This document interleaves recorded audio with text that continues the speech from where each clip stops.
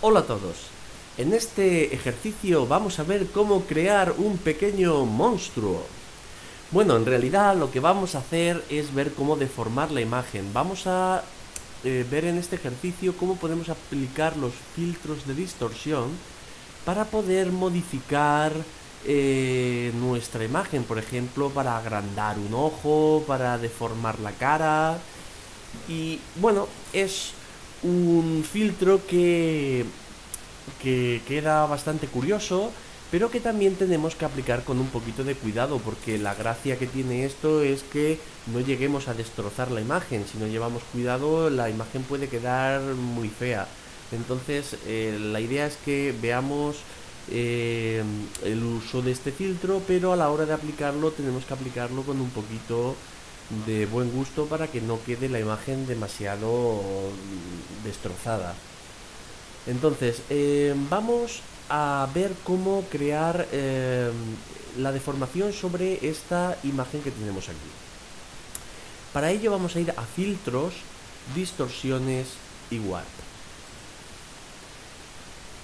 En el filtro de distorsión eh, se nos abre esta ventana y eh, aquí tenemos una previsualización de cómo va a quedar la, la deformación que voy a aplicar. Y aquí vamos a ver cómo puedo variar esas deformaciones. Tenemos varios tipos de deformación. El, de mover sirve para estirar y mover los píxeles de una zona. Luego el de crecer es para hacer aumentar una parte de la imagen quitar serviría para reducir el efecto que he aplicado antes. Encoger es para hacerlo si crecer era aumentar una zona encoger era para hacerlo eh, más pequeño. Y luego eh, torbellino antihorario horario vale lo que hace es girar la imagen.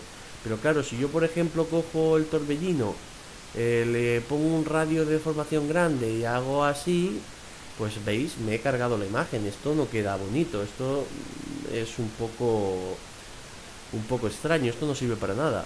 Entonces, si cuando estoy aplicando eh, un efecto me equivoco o no queda como yo quiero que me quede, puedo darle a reiniciar y de esa manera vuelvo al principio. Bien, eh, vamos a intentar deformar un poquito esta imagen y que nos quede graciosa. Eh, como veis aquí hay dos cosas, está el radio de deformación y la cantidad de deformación. El radio de deformación, digamos, define la cantidad de la imagen a la que va a afectar y la cantidad de deformación es cuánta deformación va a aplicar. Por ejemplo, si yo le digo la de crecer, la cantidad de deformación hará que crezca más o menos y el radio hará que la zona que crezca sea más grande o menos. Entonces, em, el radio de formación vamos a bajarlo un poquito, vamos a ponerlo más o menos así, luego ya veremos si, si tenemos que subir o no. Y de momento vamos a probar con estos valores. Vamos a hacerle a este niño los ojos más grandes. Entonces, pincho en el centro del ojo y estiro hacia afuera. Pincho en el centro del ojo y estiro hacia afuera. ¿Vale? Si cojo, por ejemplo, la herramienta de mover, puedo coger y estirar de aquí y como podemos ver también estamos haciendo que el, ojo, crezca un poco porque estamos estirando esa zona. Vamos también por ejemplo a abrirle la boca a base de estirar por ejemplo. Vale de esta manera estamos deformando la cara del niño pero sin llegar a destrozarla. También podemos por ejemplo hacer que el niño sea un poquito más orejudo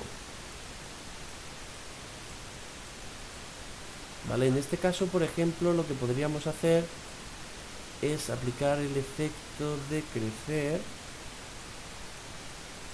y luego ya podemos estirar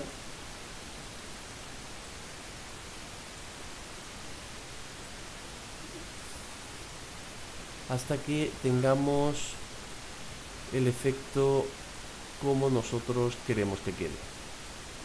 ¿Vale? También podemos hacer que crezca un poco su nariz.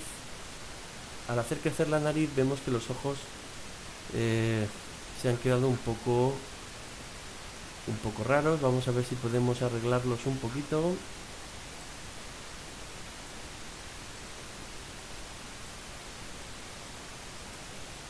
Vale, pues esto es cuestión de practicarlo para cogerle un poco la maña y veréis que se pueden hacer cosas bastante, bastante graciosas. Bueno, eh, de momento yo lo voy a dejar aquí. Le voy a dar a aceptar y esta es la deformación que me ha quedado en la cara del niño. Ahora vamos a ver un efecto curioso. Y es que eh, este niño lo vamos a transformar en extraterrestre. Entonces, para esto vamos a hacer que su piel sea de color verde. Eh, podemos llamarle niño extraterrestre o un pariente lejano de Shrek. Entonces, ¿cómo vamos a hacer eso? Pues vamos a coger esta capa donde se encuentra la imagen y la vamos a duplicar. Entonces, esta capa de aquí, que está por encima de esta, vamos a darle a mm, colores colorear. En esta opción de colores colorear eh, nos aparecen tres barras de desplazamiento. Con la primera voy a buscar el color que quiero darle. Ahora mismo estoy en una tonalidad azul. Si lo muevo un poquito hacia la izquierda, eh, ya estoy viendo que aquí está el color verde. ¿De acuerdo? Si me fuera más para allá, por aquí tengo los rojos, aquí el naranja marrón, por aquí lila, rosa, por aquí hay otro de rojo. Bueno, lo voy a dejar ahí. Ahora, la saturación define la viveza del color. Si quiero que sea un verde con mucha viveza o más apagado. Obviamente, si bajo la saturación, estaré dejándolo en blanco y negro. Acordaos de que la opción de desaturar lo que hace es eh, dejarlo en blanco y negro. Yo lo voy a dejar más o menos así. Y la luminosidad define pues si el color es más claro o más oscuro, tiene más luz o menos luz, ¿vale? En este caso estamos afectando a toda la imagen porque se lo estamos aplicando a toda la capa. Si quisiéramos solo aplicarlo a una zona de la imagen, deberíamos de seleccionar previamente a qué zona queremos aplicarle este efecto. Acordaos de que aquí arriba tenemos las herramientas para seleccionar. Bueno, pues le damos a aceptar. Y ahora una cosa que podríamos hacer también es coger y eh, vamos a borrar de esta capa la parte de los ojos para que se vean en su color natural. Incluso si queréis también lo podríamos hacer con la boca. Eh, para esto vamos a aplicarle una máscara de capa y le vamos a decir que el blanco es la opacidad total. Entonces, como vemos, hemos creado una capa blanca totalmente opaca. Y ahora, con nuestro pincel y pintando de negro, vamos a definir qué zona es transparente. Entonces, cojamos la lupa, acerquemos la zona de los ojos y ahora vamos a pintar de color negro para definir la zona que se va a quedar transparente. Acordaos de que si, os salís podéis eh, arreglarlo pintando de blanco recuperando la opacidad de esa zona. Entonces, pintamos de color negro y vemos cómo aparecen los ojos en su color natural y si queréis la boca también en su color natural, los labios lo que queráis, si queréis que los labios también estén en su color natural, pues lo borráis y si no los dejáis en color verde. Entonces vamos a bajar un poquito el tamaño del pincel para que podamos borrar esta zona como veis aquí me he salido un poquito en el labio pero no hay problema porque intercambio los colores y pinto de color blanco y ya puedo ajustar perfectamente esa zona para que nos quede perfecto. Si queréis por ejemplo se podría borrar también el pelo y que se quedara rubio y nada más tendría la piel de color verde y el, el pelo se quedaría de color rubio este tipo de efecto hay que hacerlo con un poquito de maña porque estas zonas de aquí donde hay pelos sueltos es complicado para que quede para que quede bien, pero se podría hacer perfectamente. Sobre todo cuando vemos que en esta parte de aquí el niño está bastante peinado, entonces no nos costaría. Si hubiese pelos sueltos por, por la frente o algo así, ya sería un poquito más complicado. Entonces, vamos a reducir y este sería el efecto del niño extraterrestre. Ahora, como siempre, vamos a poner nuestro nombre. Cojamos, por ejemplo, fijaos que el fondo es de color negro, el niño es de color verde. Voy a coger un color que sea totalmente diferente para que ponga donde ponga el nombre se pueda ver. Entonces, para no ponerlo encima de su cara, lo voy a poner aquí. Ya que he cogido el color negro, pues se va a ver correctamente. Si quiero hacer la letra más grande, acordaos de que tenéis que seleccionar todos los caracteres y ya podéis subir el tamaño a la unidad que queráis. Con esto ya tendríamos hecho el ejercicio. Vale, vamos a poner el nombre un poquito más hacia allá y acordaos de que como eh, esto lo tenemos en una capa, simplemente ocultando esta capa volveríamos a tener el niño en su color natural. Si alguien desea tener el, el niño de color rubio, lo único que tendría que hacer es ponerse sobre la imagen y pintar de negro el pelo.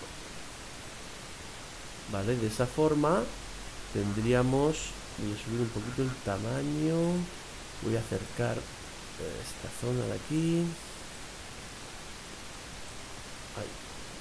ampliar voy a acercar esta zona y ahora simplemente tendría que coger el pincel y pintar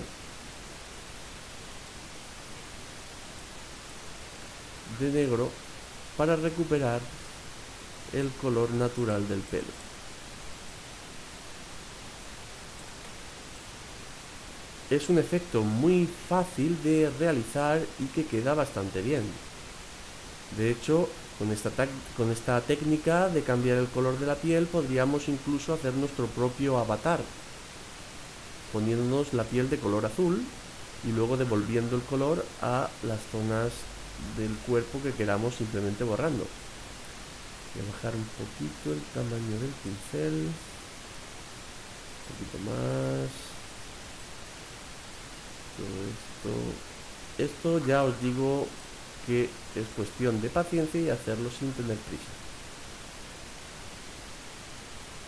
A ver ahí estaba pintando de rojo voy a ponerlo en el color negro. Bueno voy a coger ahora el color blanco porque aquí me pasa un poco.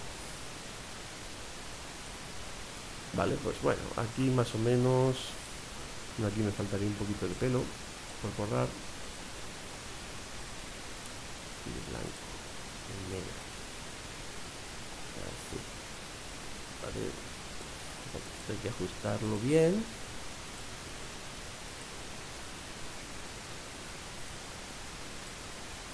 para que nos quede en su sitio